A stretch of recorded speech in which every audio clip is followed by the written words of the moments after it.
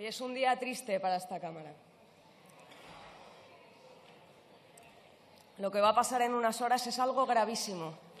Esta tarde las señorías del PSOE se levantarán a aplaudir con el PP y con Vox una reforma de la ley solo sí es sí que elimina el consentimiento del Código Penal. Hoy ustedes, señorías del PSOE, se han aliado con Vox y con el PP para volver al Código Penal de la manada, para que vuelvan a preguntarnos si cerramos bien las piernas, cuántas veces dijimos no o con qué fuerza nos resistimos. Quieren volver al calvario probatorio a un modelo que nos pedía enseñar una heridita y probar luego si había sido producida por una violación, a un modelo en el que debía ser normal que nuestro novio nos penetrase mientras dormíamos, el modelo que defiende uno de los asesores del PSOE para esta reforma. ¿Lo recuerdan? Y si estamos con la pareja que está dormida, la tenemos que despertar. Esto es, les guste o no, lo que late de fondo en su reforma. No cuenten con nosotras. Señorías del PSOE, del PP, de Vox, las feministas de este país tenemos un mensaje para ustedes. El consentimiento no se toca que solo sí es sí y que vamos a defender aquí dentro y en las calles las conquistas feministas con toda la fuerza organizada de nuestro movimiento, porque no hay feminismo posible pactando con quienes recurrieron el aborto al constitucional, con la ultraderecha que niega la violencia machista, que derogan leyes trans o que consideran que las personas LGTBI son una moda de Netflix. Por eso, el aplauso de hoy será el aplauso de la vergüenza.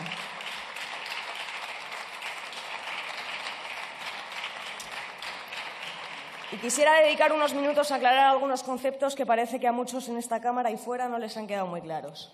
Si una mujer es penetrada por su novio sin su permiso porque está dormida o porque no quiere, da igual la razón, es violación. Si estás follando con un tío y ese tío se quita el condón sin avisarte, es violación. Si una chica conoce a un tío una noche, se va con él a su casa y cuando ya están en la cama cambia de opinión y ese tío sigue, es violación. Y da igual para que fue a su casa porque seguro que no fue para que la violaran. Y si vas en el metro de, de vuelta del curro y te tocan sin tu consentimiento, es agresión sexual.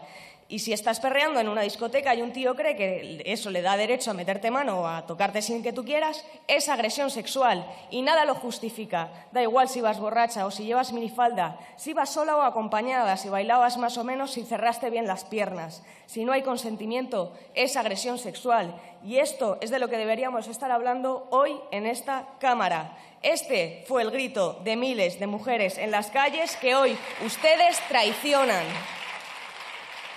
Hoy, señorías del PSOE, no le están fallando a sus votantes, le están dando la espalda a todas las mujeres de este país.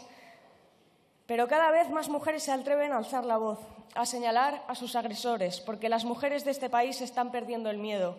Y eso es lo que aterra a los poderosos. Tienen miedo de las mujeres y de la fuerza que tiene el movimiento feminista porque el feminismo viene a acabar con todos y cada uno de los privilegios que sostienen su poder, porque las feministas hemos venido a disputar ese poder y a arrebatárselo para construir un mundo donde todas las personas tengan una vida que merezca la pena vivir.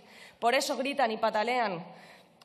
Eh, por eso gritan y patalean y, enfangan, por eso judicializan, a compañeras como Vicky Rosell o Aisa Serra, por eso insultan a Irene Monteno o a Ángela Rodríguez Pam, por eso nos quieren calladas y sumisas, y sí, por eso rebajan las penas de los agresores sexuales y atacan todos los días la ley solo sí es sí.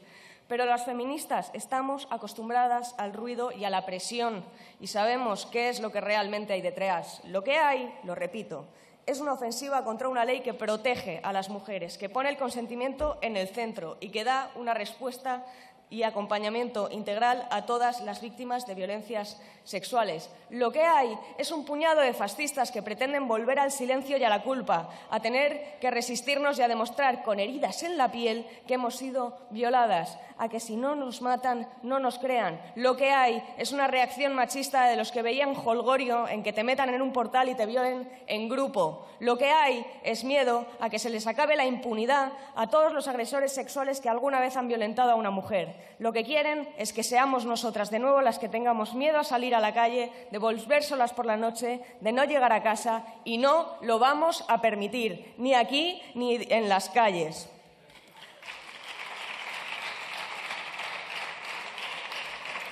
La ley solo sí es sí es una ley necesaria. pionera y celebrada a nivel internacional. Es un mandato del Convenio de Estambul y es una ley buena para las mujeres. Lo demuestran los datos del Consejo General del Poder Judicial, que, por cierto, aún no son sobre condenas firmes, que dicen que no se están rebajando las penas en un 75% de las revisiones. Están planteando desamparar a las mujeres de este país porque hay una minoría de jueces que están interpretando la ley en el sentido contrario a la voluntad del legislador, a la voluntad de esta Cámara. Y aun sabiendo que las críticas son ruido, aun sabiendo que es un chantaje, estamos dispuestas a negociar para reducir el margen de interpretabilidad de la ley. Estamos dispuestas a subir las penas aunque no queramos una ley punitivista. Estamos dispuestas a admitir cambios. Lo que no vamos a permitir es que se saque el consentimiento del centro de la ley, porque nosotras no vamos a traicionar a las mujeres. Quienes voten a favor de esta propuesta le están mandando un mensaje muy claro a las mujeres de este país. Les están diciendo que son ciudadanas de segunda, que defender sus derechos vale menos que aguantar la embestida de la derecha.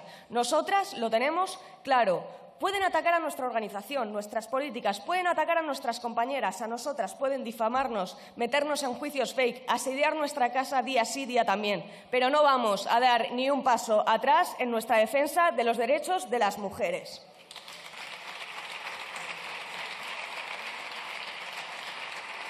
Y termino. Compañeros feministas, las de esta Cámara y las que estáis ahí fuera, mañana es 8M.